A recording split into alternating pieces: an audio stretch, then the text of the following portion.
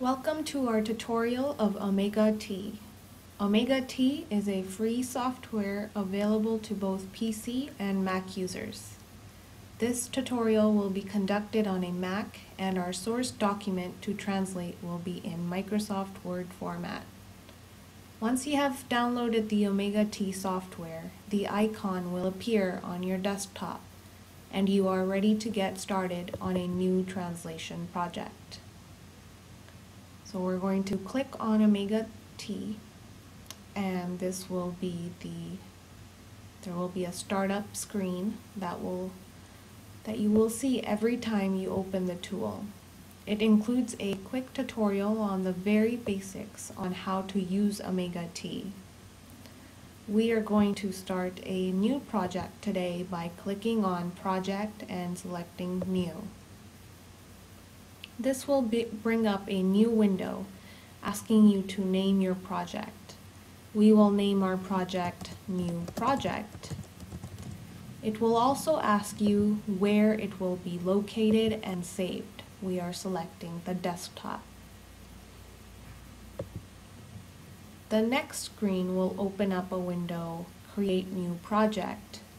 At the top, you will see you will have to select your source file language or source language using the drop-down menu.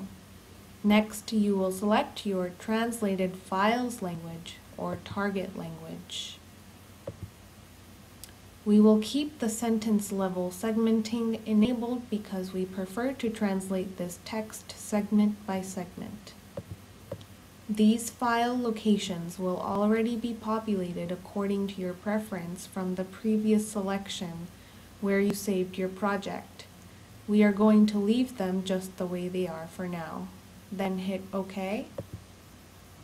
Next, the project files will pop up and this prompts you to import your source files. We do this by clicking Import Source Files. Here, we choose our Word document from our desktop and click Choose. The Project Files window will now tell you some statistical information about your source file, such as the total of the total number of segments. Now we are done with this window, so we're going to close out of here.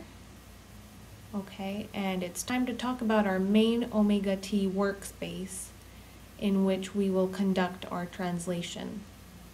Before we begin translating, we have to set our preferences. So in the View window, we are going to choose how we want our segments to be displayed by color. To make it easier to translate, OmegaT allows you to mark the translated segments yellow, untranslated segments in blue, and to keep your source segments in green. This can be especially helpful when working on larger documents. Let's begin translating our first segment here. When I'm done entering my target text, this text will appear yellow to give me a better idea of what I've already translated. Like so. For the sake of this tutorial, we went ahead and translated the rest of the segments. Now let's take a look at how to manage the glossary. Let's assume that we were given a glossary by our clientele in a simple Microsoft Word document. In order to have this document be readable in OmegaT, allowing it to use this list of terms, it is important to format the, the terms in the document by placing a tab between the source term and the target term. OmegaT requires the glossary to be in a .txt format in order for it to be usable in the software. We are now going to open the new project folder and drop our glossary into the glossary subfolder. Now that our glossary is all ready to use, we're going to open a new document called dogs too.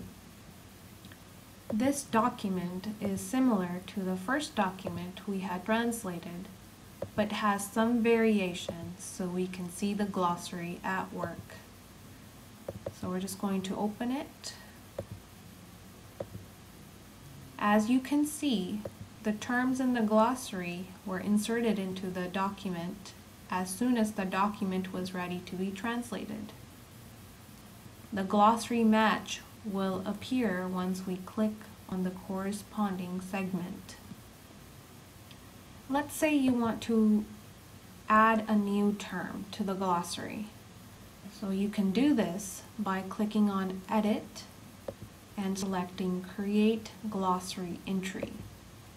The term is now added to the glossary folder of OmegaT.